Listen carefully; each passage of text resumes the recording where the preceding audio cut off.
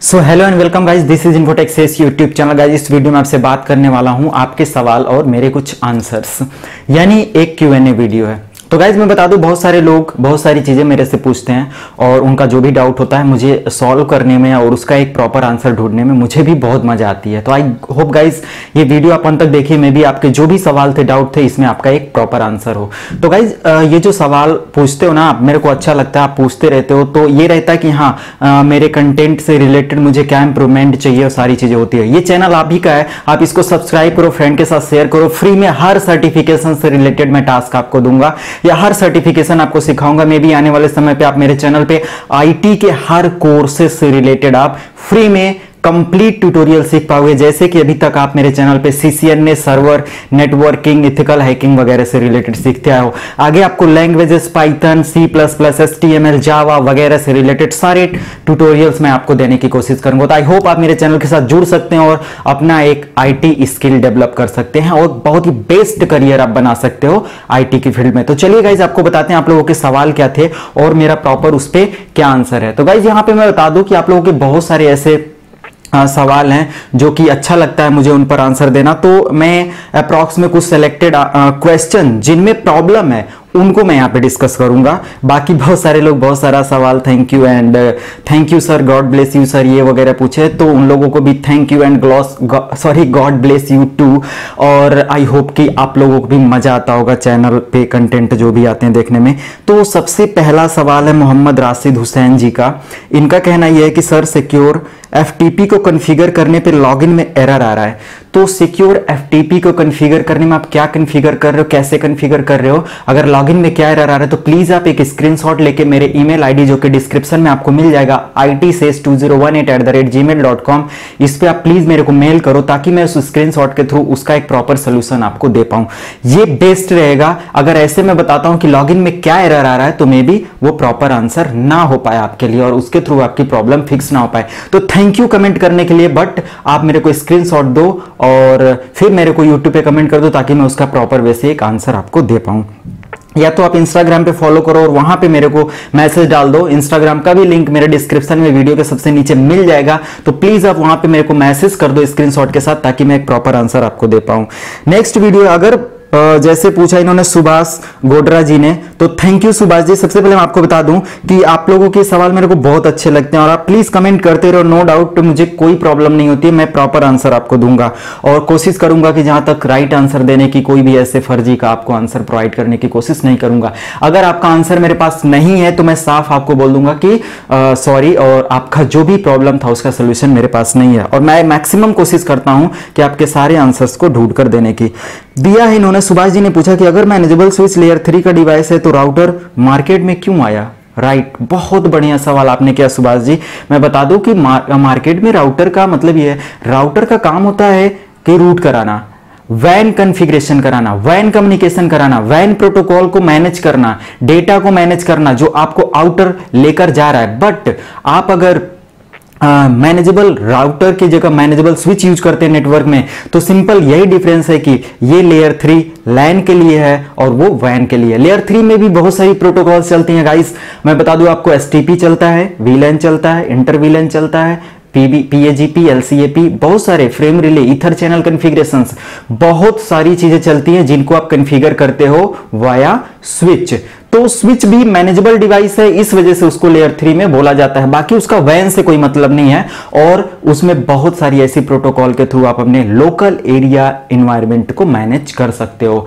तो जो भी डिवाइस आपकी कॉन्फ़िगरेशन को सपोर्ट करती हैं, जिनमें मैनेजेबल टास्क होता है, उनको लेयर थ्री डिवाइस आप बोल सकते हो। तो इसलिए कंपेरिजन राउटर और ये दोनों क्या है? एक मैनेजेबल डिवाइस है और लेयर थ्री डिवाइस आप बोल सकते हो। ये भी दूसरे नेटवर्क को मैनेज कर सकती है। नेक्स्ट सवाल आता है मोहम्मद राशिद जी का सॉरी मोहम्मद राशिद जी का ही है।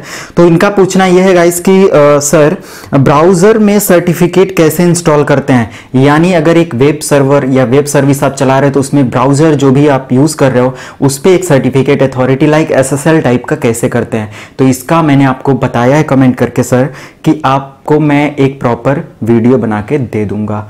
और इस पर कैसे आप काम करोगे, वो मैं प्रॉपर स्टेप बाय स्टेप आपको दे दूँगा। तो आई होप आपको, आपकी प्रॉब्लम का सोल्यूशन मिल जाएगा।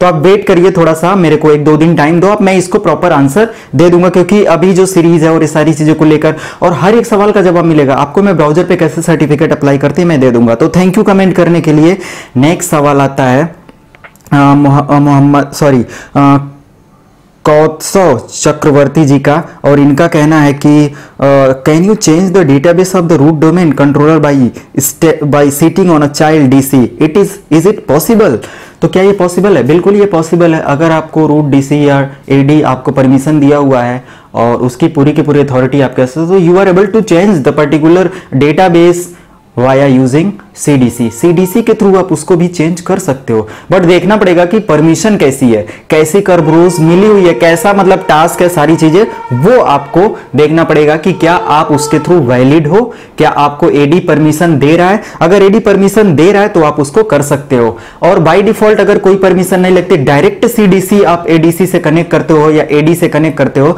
तो आपके पास पूरी परमिशन है, पूरा का पूरा डीसी आप एक्सेस कर पाओगे। इसका प्रैक्टिकल बहुत आसान है। जब भी आप सीडीसी यूज़ करो ना सीडीसी में जाओ तो एडी को लाइव करके डीसी को लाइव करके एक काम करो आप, जहाँ पे डोमेन होता है ना डोमेन कंट्रोलर डोमेन में जाओ, जो भी आपका लाइक अगर मैंने एक आईटीएस.com नाम से डोमेन बनाया तो उस पर सी वन यानी C D C one dot I T S dot com जो मेरा होगा C D C one dot I T S dot com पे जब जाके राइट क्लिक करके चेंज डोमेन करोगे आप तो डायरेक्ट आपको परमिशन मिल जाएगी एडीसी की सॉरी यानी डीसी की। और डीसी के अंदर फिर जाकर गाइस एक्चुअली कैमरे की बैटरी डाउन हो गई थी अचानक, जिसकी वजह से वीडियो डिस्कनेक्ट करना पड़ा। तो बेसिकली मैं बात कर रहा था कि वही डेटाबेस चेंज करने के लिए सीडीसी के थ्रू डीसी का। तो आप कर सकते हो अगर परमिशन दिया है तो।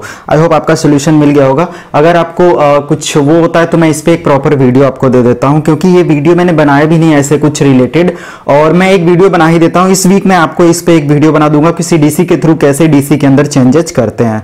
फिर नेक्स्ट पॉइंट है गाइस कि इन्होंने लिखा है तरनजोत सिंह ने।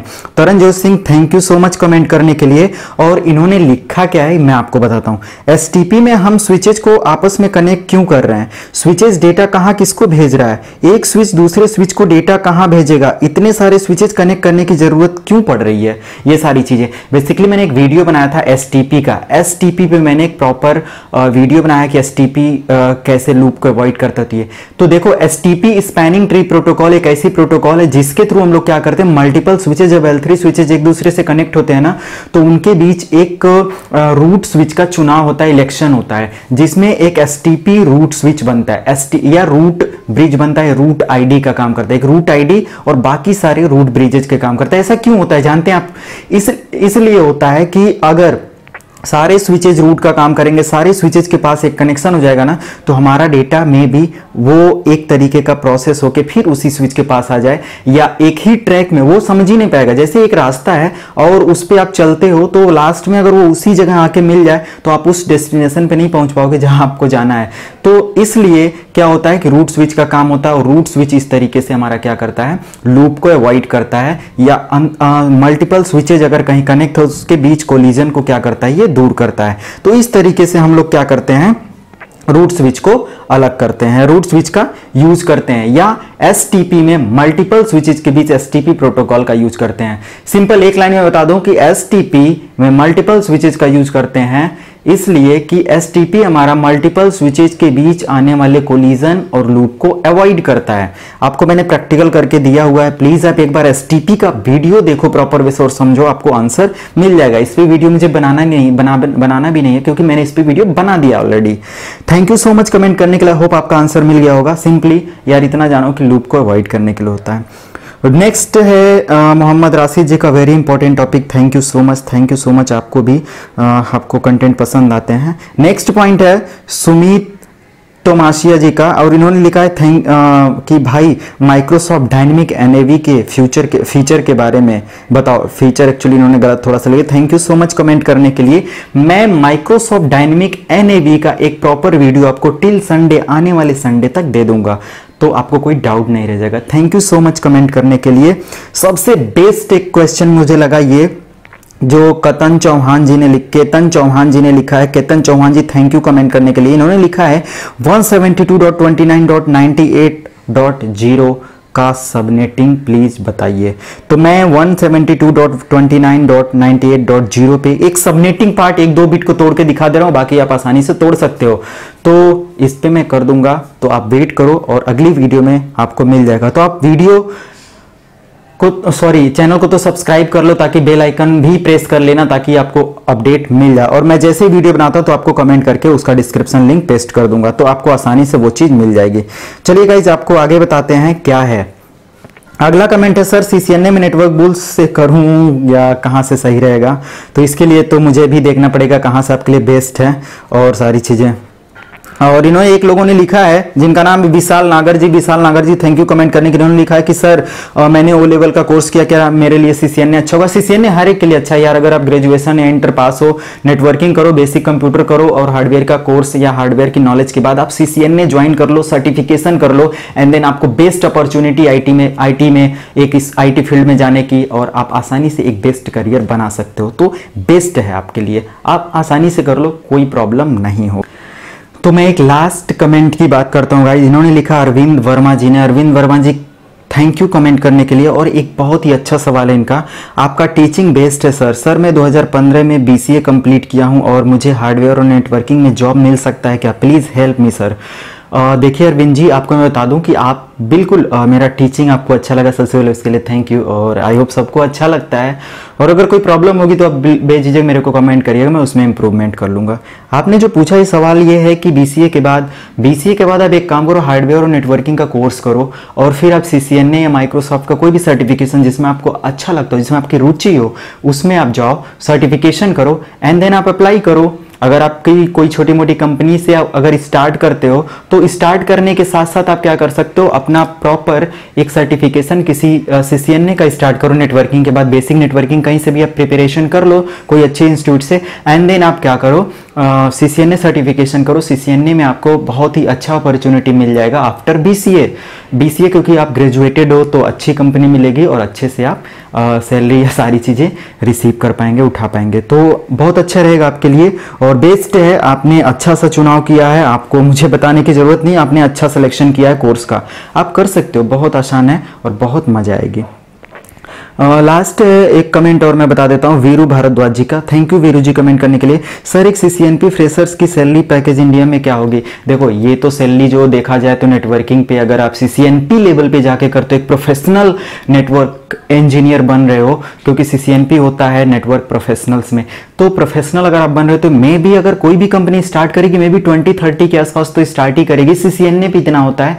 तो सीसीएनपी का मैं किसी कंपनी का आ, वो कंप्लीट ओवरव्यू तो नहीं दे सकता बट कोई भी स्टार्टिंग होगी आपकी twenty twenty five thousand thirty या इससे कम नहीं होगी अप्रॉक्स इसी के होगा।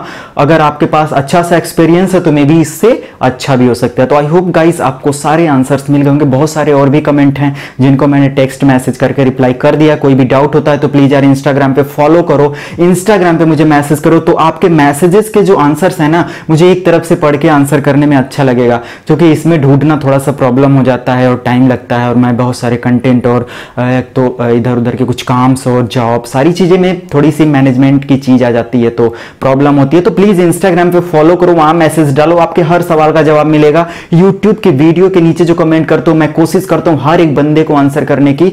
तो आई होप आपको आंसर मिलता भी होगा। जो लगता है कि मुझे लाइव आकर बताना चाहिए मैं लाइव आकर बताता हूँ। आई होप हर आंसर आपको मिल चुका होगा। गाइस इस तरीके के वीडियोस पाने के लिए आप हमारे चैनल को सब्सक्राइब कर सकते हैं, हमारे चैनल से जुड़ जाए ताकि ऐसे अपडेट आपको मिलता रहे। अपने फ्रेंड के साथ शेयर करना मत भूलिएगा। मिलते हैं नेक्स्ट वीडियो में। Thank you and good bye